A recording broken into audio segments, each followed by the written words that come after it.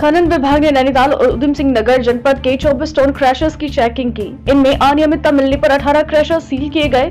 ई रवाना पोर्टल बंद किया। इसके अलावा टीम ने अवैध खनन में आठ वाहन भी सीज किए। बताएँ कि खनन विभाग के निदेशक एस एल पैट्रिक और अपर निदेशक राजपाल लेघा के नेतृत्व में टीम ने 27 से उनतीस जनवरी तक 24 टोन क्रशर पर छापेमारी का अभियान चलाया था। नवभारत समाचार, उत्तराखंड से रागिब खान की रिपोर्ट।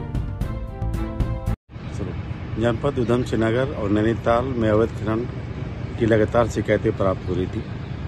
शासन से प्राप्त निर्देशों के क्रम में मुख्यालय के परिवर्तन दल के द्वारा उधम नगर और नैनीताल में छापेमारी की गई और 27, 28 और उनतीस तारीख तक लगातार छापेमारी की गई और क्रशरों की जाँच पैमाइश की गई इस दौरान कुल मिला के चौबीस क्रशरों की जाँच की गई जिसमें से 18 ऐसे क्रशर पाए गए, जिनके सीसीटीवी कैमरे से ये देखने पर मालूम हुआ कि रात को दिन में इनके द्वारा अवैध खनन की निकासी की जा रही है।